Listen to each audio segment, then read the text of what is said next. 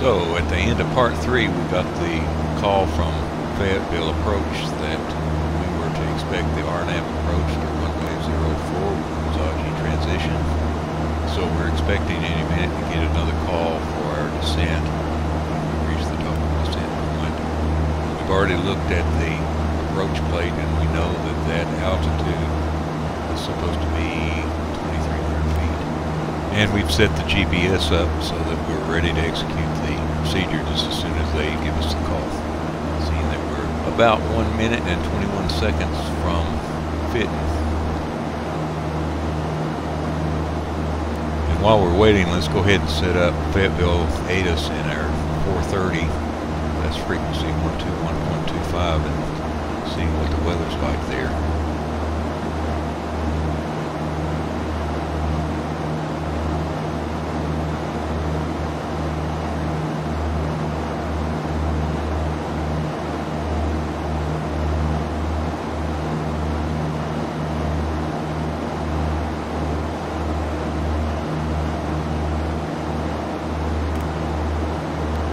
And we're COM too, so we won't have to tune away from Fayetteville approach in case they call us while we're listening. Fayetteville RGNL Grannis FLD Information Hotel. 0 Zulu weather. Wind light and variable, visibility more than 10. Sky conditions 12,000 scattered, temperature 20, dew point 1. Altimeter 3027. Arriving runways 04, 10, departing runways 04, 10. Advise on initial contact you have hotel.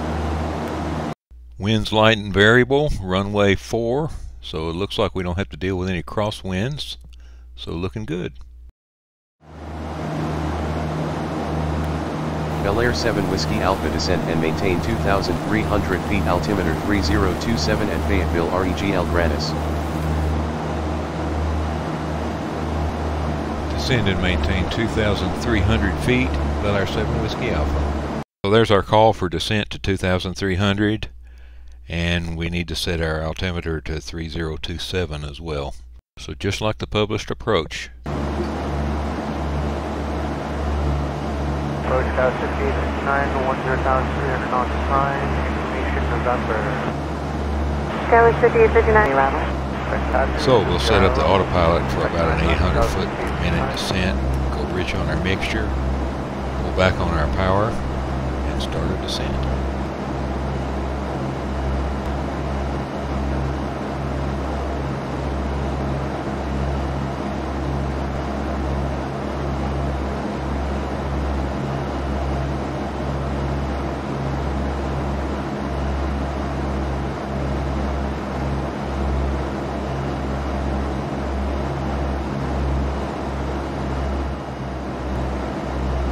So the fit and waypoint now and we're on our way to the Hooks transition. We've reached Hooks now with 500 more feet to go.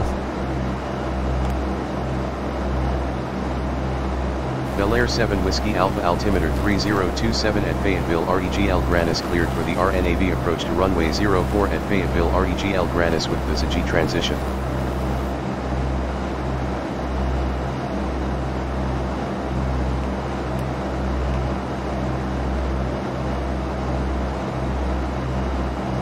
Altimeter 3027 cleared for the RNAV approach to runway 04 with the Zoggy transition at our 7 Whiskey Alpha. Aircraft calling approach say again with your call sign. Altimeter 3027 cleared for RNAV approach to runway 04 Bel Air 7 Whiskey Alpha.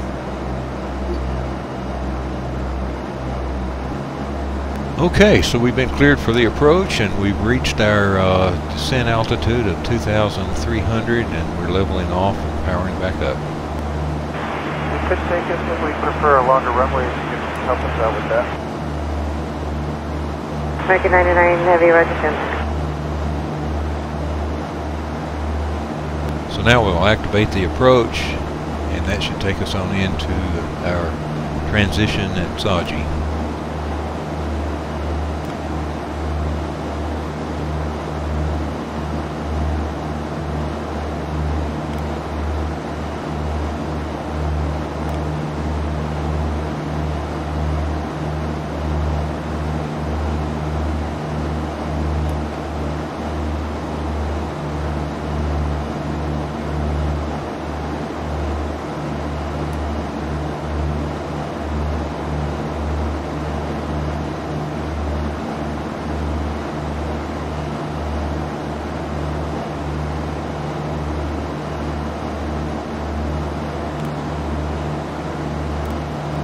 We're still 14 minutes away from Zaji, so we'll move ahead.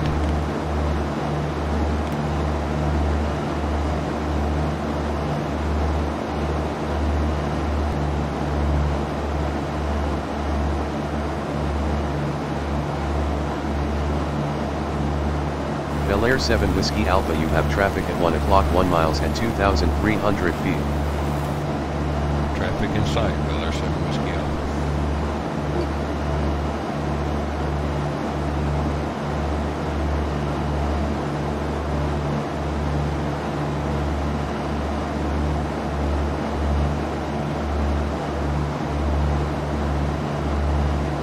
So we're about 42 seconds from the transition to Zaji, and you can see the GPS is drawing a course following the holding pattern turnaround. We expect the autopilot to make a good effort at executing these turns, but it is notorious for breaking off and flying straight if it can't handle the turns. I'm ready to take over if that happens. Let's see how it does.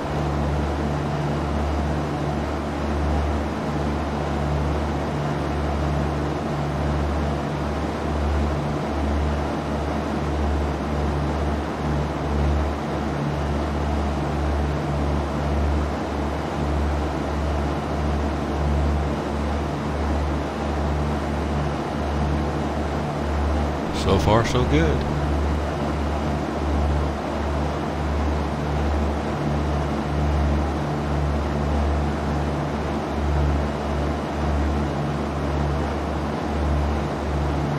Approach, good morning from United 463, 11.8 for 11,000 with November 300 knots. United 463 Chicago approach runway 9 left. 9 left, how you doing this morning? Super.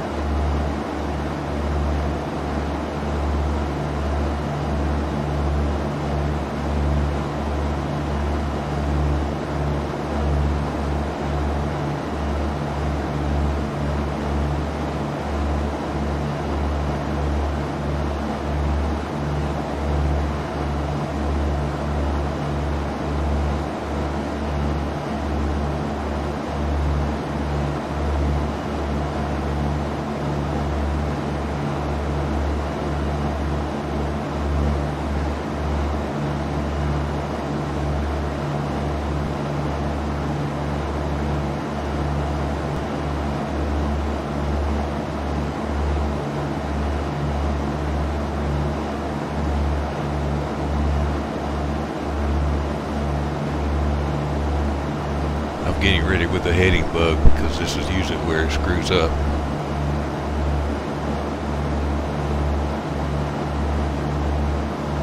Prepare 3613 with down 13.4 for 12,300 knots with November.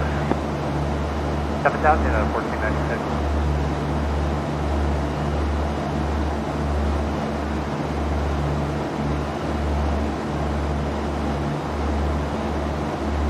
Wow, I'm amazed it's well.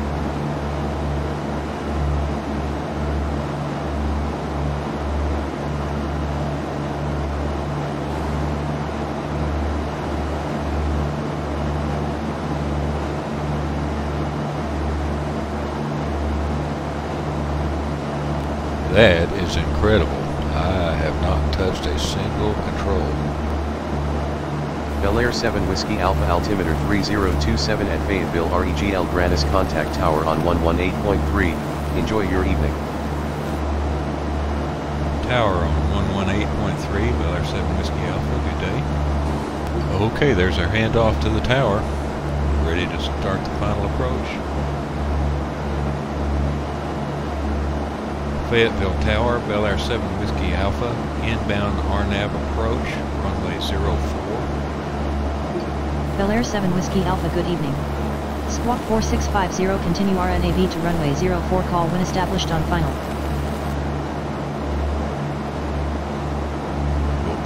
established on final, Bel Air 7 Whiskey Alpha.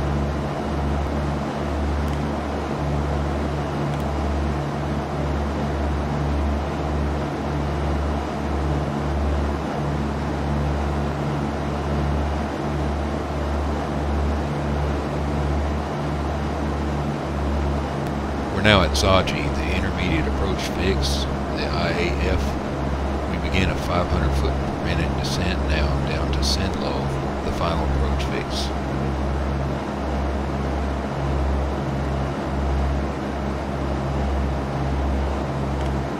We put the autopilot in approach mode to increase sensitivity as we come down the flat slope.